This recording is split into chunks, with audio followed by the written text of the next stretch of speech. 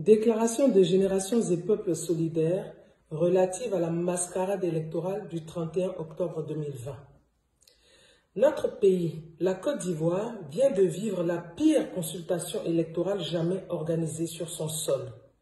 Les Ivoiriens, dans leur immense majorité, n'ont pas adhéré au projet électoral inconstitutionnel de M. Ouattara. Les populations mobilisées partout sur le territoire national ont vaillamment empêché le déroulement du scrutin ou se sont abstenus d'y prendre part. Le taux de participation de cette farce électorale, selon les experts nationaux, n'a guère excédé 6%. En revanche, l'opinion publique nationale et internationale a été témoin de la brutalité exercée par les miliciens armés de M. Alassane Ouattara à l'encontre des manifestants. Cette violence abondamment documentée et relayée par tous les médias a occasionné de nombreux morts et des blessés graves dans les rangs de l'opposition, dont pour certains, le pronostic vital reste engagé.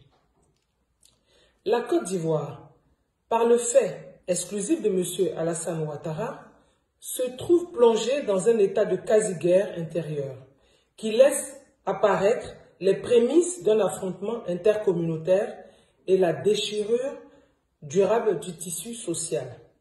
Si rien n'est fait pour stopper cette dérive, notre pays risque de revivre les tourments d'un passé pas si lointain. M. Alassane Ouattara, président sortant, apparaît indéniablement comme le facteur d'instabilité et l'élément déstabilisateur de la Côte d'Ivoire. Aussi, Génération et Peuple solidaire s'incline respectueusement devant la mémoire de tous ces patriotes assassinés pour avoir défendu la souveraineté nationale. Exprime sa compassion aux blessés, victimes de la barbarie des milices de M. Ouattara. Félicite chacune et chacun de nos compatriotes pour leur engagement et leur détermination sans lesquels le mot d'ordre de désobéissance civile n'aurait pu connaître un tel succès.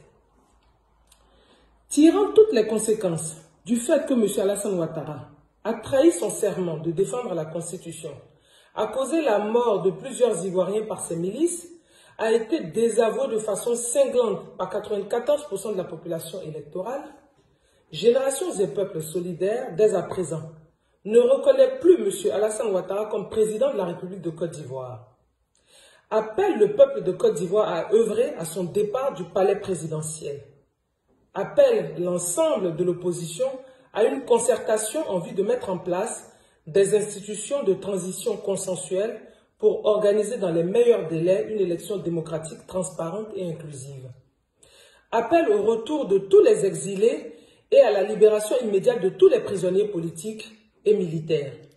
Appelle toutes les forces vives de la nation, y compris les forces régulières, à se mettre à la disposition du gouvernement de transition qui sera mis en place. On appelle à la communauté internationale pour accompagner le peuple ivoirien dans sa quête de stabilité, de paix et de démocratie. Tient particulièrement M. Moussa Faki, complice des tueries qui ont eu lieu en Côte d'Ivoire, et demande au président de l'Union africaine de prendre à son encontre toutes les mesures appropriées.